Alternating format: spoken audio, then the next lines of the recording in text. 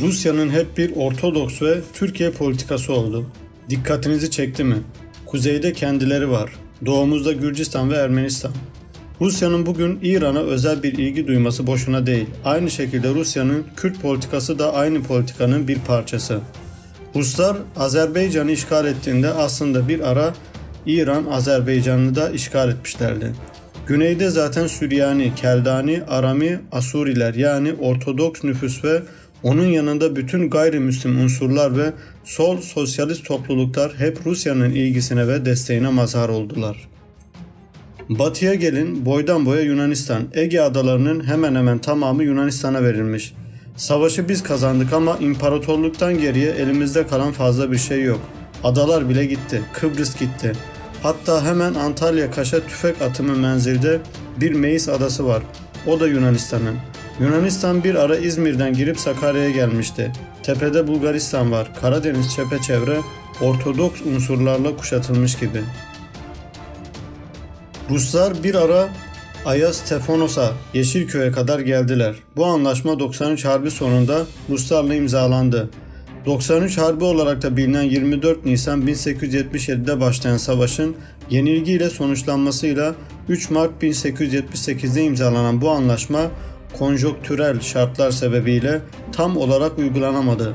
Batılı devletlerle varılan mutabakat sonunda Berlin Anlaşması ile hafifletildi.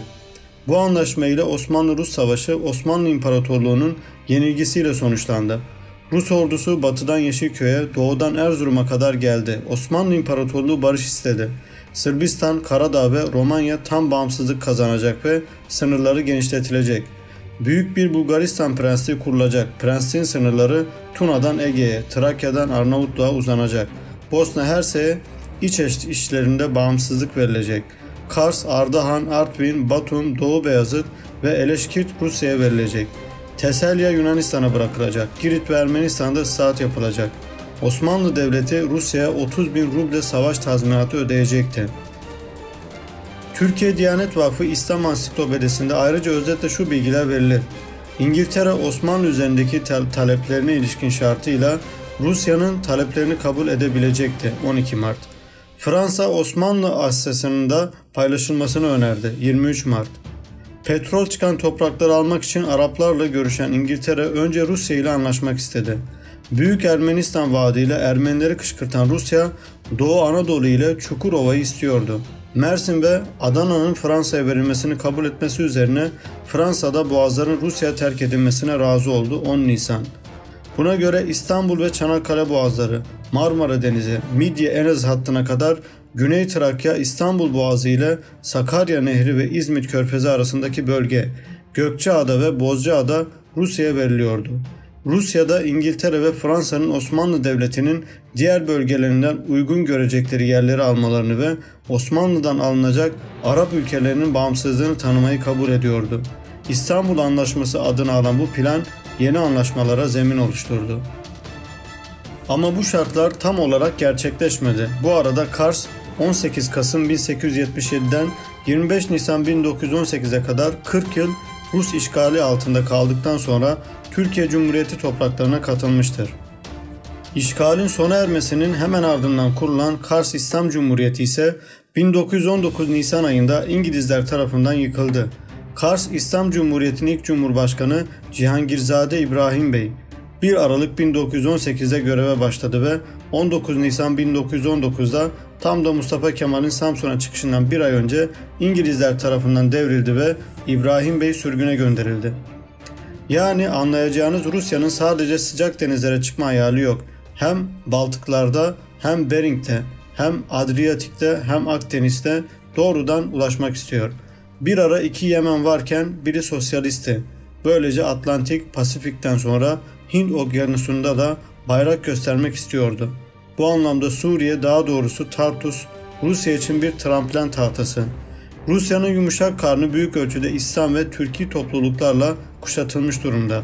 Sadece Rusya değil, Hindistan zaten eski bir Türkiye devlet. İki yanında iki İslam Cumhuriyeti var. Pakistan ve Bangladeş. Çin'in batısında Doğu Türkistan var. Güneyinde Pakistan, Bangladeş ve ASEAN ülkeleri arasında 400 milyon Malay, Hindistan içinde 250 milyon, Çin'in içinde 100 artı 45 milyon Müslüman var. Bugün planlı bir şekilde İran Rusya'nın yanına itiliyor. İran da bunu kabul ediyor. Rusya Afganistan üzerinden bir ara Hint okyanusuna inme planları yapmıştı. Bu plan başarısız oldu. Rusya gitti, ABD geldi. Daha önce Rusya Saddam zamanında Irak ve Suriye'de etkiliydi.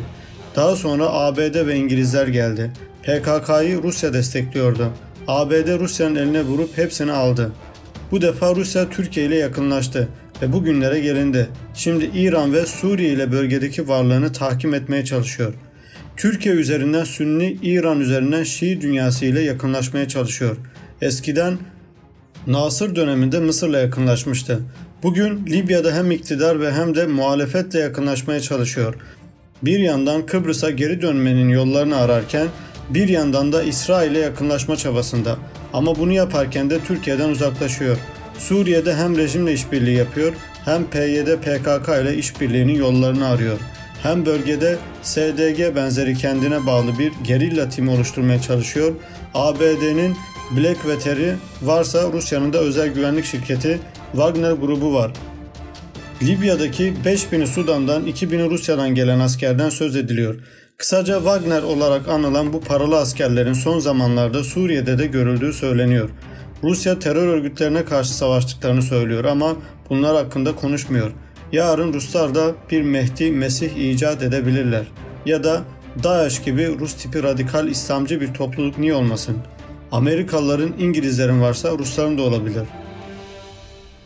Bakın bu Seykes-Picot'un bir de Rus ayağı var. Bu anlaşma 1. Dünya Savaşı sırasında 29 Nisan 1916'da 1. Kut'ul Ammare kuşatmasının ardından İngilizlerin Osmanlı askerleri karşısında bozguna uğramasından 17 gün sonra 16 Mayıs 1916'da İngiltere ve Fransa arasında yapılıp Ekim ayında Rusya tarafından onaylanan Osmanlı'nın Orta Doğu'daki topraklarının paylaşılması ile ilgili yazışmalar bütünüdür.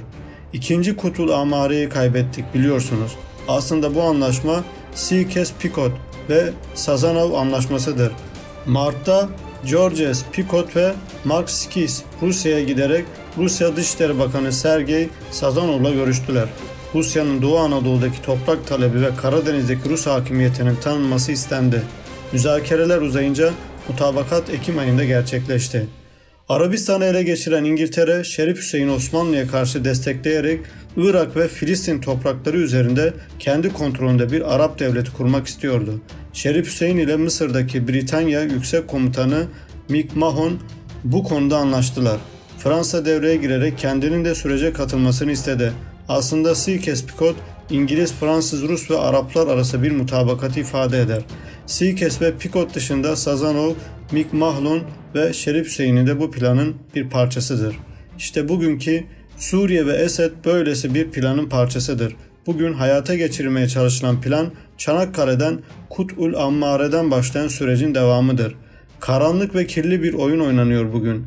Bölge dışı devletlerin buradaki varlıkları krizi çözmek için değil, bu topraklardaki kendi varlıklarının bahanesini oluşturan krizin sürekliliğini sağlamak içindir. Kirli ve aşağılık bir oyun oynanıyor. Esed 15 Nisan'da seçime gidecekmiş. Anlaşılan seçmen kütükleri hazır. Öldürdüğü 1 milyondan fazla insan var. Ülke nüfusunun yarıdan fazlası göç etmiş ya da Suriye içinde Türkiye'nin koruması altında. Hangi seçim? Tek parti var. Propaganda yasak. Adayları Esed belirleyecek. Seçmeni de kendisi belirleyecek. Açık oy gizli tasnifle yapılacak bir seçim olacak bu. Bizdeki ikinci meclis seçimi gibi. Türkiye'de de ilk kadın milletvekilleri böyle seçilmişti. Kutlu olsun. Bunları topluma kim anlatacak? Mektepte öğretilmiyor. Basının umrunda değil. Dizilerden tarih öğreniyoruz. STK'larımız ne iş yapar? Cemaat, menakipler, kerametlerle ilgileniyor. Asıl suç bizde. Unutmayalım ki şeytanın varlığı günah işlememizin bahanesi ve gerekçesi olamaz. Şeytan taşlayacağınız da tek başına şeytan taşlamak yetmez. Biraz salavat getirelim, okuyalım. Düşünelim biraz kurtarıcı aramaktan, beklemekten yorulmadınız mı?''